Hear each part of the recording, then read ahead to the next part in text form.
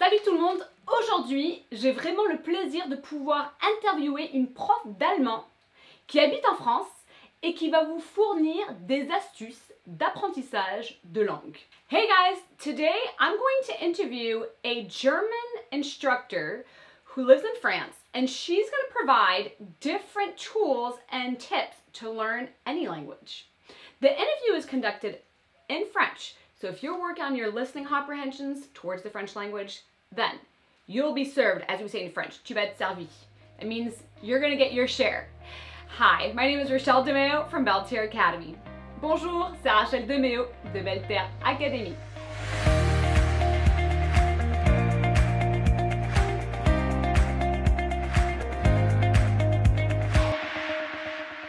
So I met this German teacher, her name is Merle. I actually met her in the south of France, where I'm from, through some common friends.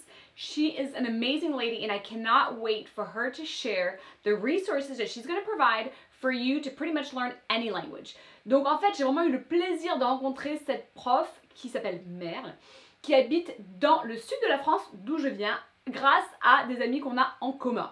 J'ai vraiment hâte à ce qu'elle partage un peu son savoir-faire. Alors dis-moi, donne des astuces pour des gens qui voudraient apprendre, bon, peut-être le français, mais ou une autre langue, qu'est-ce qui pourrait aider?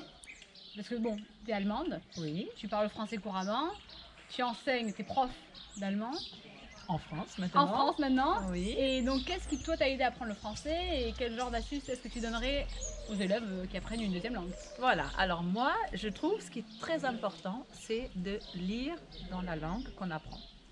Donc, euh, ça vous aide, on peut aller à son rythme, on peut chercher des mots sur Internet ou dans un dictionnaire, un bon vieux dictionnaire, et on peut vraiment aller à son rythme. Et c'est- très, très formateur. Après, au niveau de la formation, de la compréhension de l'oral, il y a les séries et les films, avec euh, sous-titres, mais de préférence dans la langue du film, dans la langue maternelle. Parce que du coup, c'est pareil, c'est comme, euh, comme la lecture. On lit et puis ça nous permet parfois ce qu'on n'a pas entendu de, le voir visuellement et ça aide aussi à la compréhension même si on ne comprend pas chaque. Voilà. Et de communiquer, de se trouver des correspondants. Nous, on fonctionne beaucoup avec les correspondants au collège. Ça les motive, on peut euh, poser des, des questions euh, sur les, centres, les mêmes centres d'intérêt qu'on a. Et voilà. C'est superbe. Merci, merci pour ces conseils. So what do you guys think? A lot to chew on, right? But she gave some really good tips and you know what? I'm to help you out if you don't understand the French portion. I'm to translate a little bit. Donc, qu'est-ce que vous avez pensé? C'est génial les astuces qu'elle nous a fournies, n'est-ce pas? Je vais traduire un petit peu, faire un récapitulatif pour nos amis anglophones qui comprenaient peut-être pas toute l'interview, mais je vais récapituler un tout petit peu.